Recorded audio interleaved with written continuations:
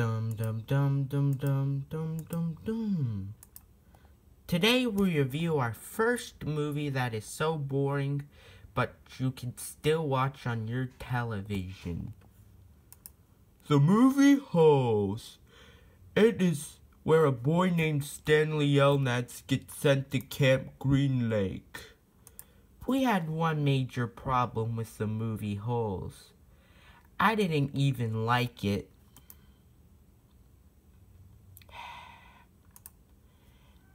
And neither did the helping hand. Stinking holes.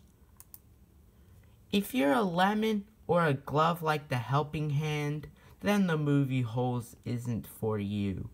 Unless you like Pokemon. Yeah. Squirtle liked it.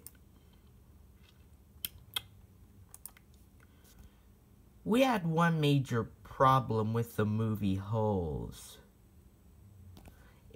It is boring than ever. Yeah, so that doesn't mean you should throw the movie Holes away.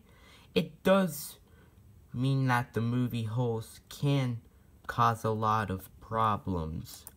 The first boring problem is the fact that it randomly shows up. Squirtle. Dumpty dum dum. Aw, not this one again. But the bigger problem for this 2000s movie is that it's getting old. That is right. It is the perfect movie for you getting sent into Camp Green Lake. No, it's so getting old that we want to watch our favorite movies. We don't need the movie holes. It is just like ejecting a CD from your television or computer.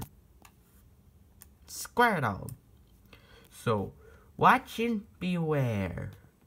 Watching something boring does mean it's getting old.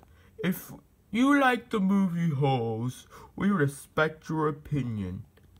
That is correct. Mm-hmm.